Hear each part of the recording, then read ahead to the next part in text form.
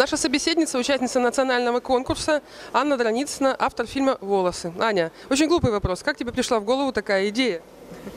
Ну, на самом деле, как обычно, просто так же идеи не приходят. У меня одна из, как бы, м, учредительниц э, этой парикмахерской, да, а речь в фильме идет о маленькой парикмахерской на Маховой, э, моя подруга. Вот. А, И я, конечно, к ним заходила, вот, все время слушала эти байки, видела персонажей, которые там стригутся. Вот. Ну и вот так вот возникла идея, может быть, попробовать понаблюдать, там, посидеть в засаде. Тебя что-то удивило вот в этих женщинах? Ты что-то вот открыла новое про женский мир? Там не только женщины, там много и мужчин, Ну, про мужской На самом деле мы провели там где-то м, три с половиной месяца, и, конечно, персонажей было гораздо больше, чем э, смогло войти в фильм 30-минутный. Вот, поэтому были и совершенно удивительные, были самые обычные. Вот, но мы выбрали, естественно, наиболее каких-то интересных людей, которые, ну, может быть, такой, чтобы срез времени, срез там, поколений какой-то организовать. Вот.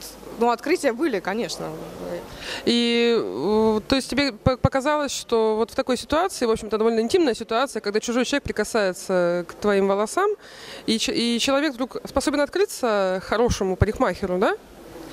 Ну, дело в том, что еще парикмахерша наша героиня, да, мне кажется, не совсем обычная. Она такая э, с задатками психотерапевта немножко, вот. И при этом ей это доставляет искреннее удовольствие. То есть общение, разговор, вот она может даже вот просто бросить ножницы, как бы там все, и, и полчаса что-то человеку вот так вот объяснять. Ну, естественно, метраж не позволил это все, да. Вот. Поэтому вот мы, отталкиваясь от нее, и при этом даже не понадобилась ни работа журналиста там, да, особо, ну, как бы мне ничего доспрашивать не надо было. Отталкиваясь от нее, мы вот переходили от персонажа к персонажу. Я некоторых, она даже советовала, говорит, ой, мне такая бабулька придет, там, 90 лет, замечательно, вот я там уже там 5 лет стригу. Ну, вот она нам даже подсказывала каких-то людей. Спасибо. Спасибо.